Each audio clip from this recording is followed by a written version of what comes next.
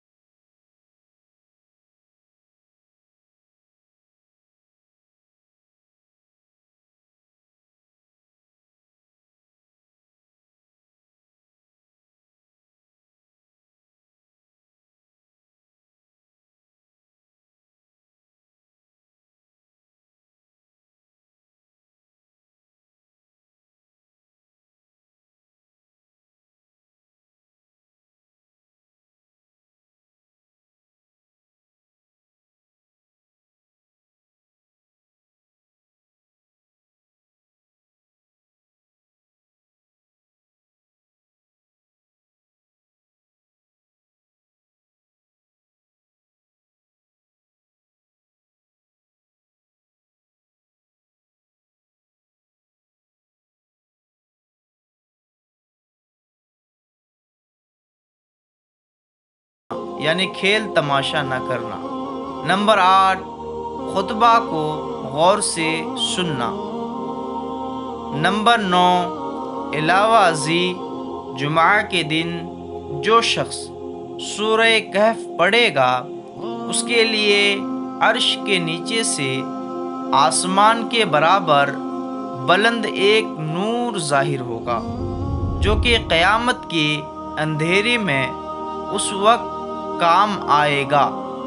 और उस जुमा से पहले जुमा के तमाम ख़ता, यानी गुनाह सगीरा, गुनाह कबीरा, उसके छोटे बड़े तमाम गुनाह मुआफ़ कर दिए जाते हैं।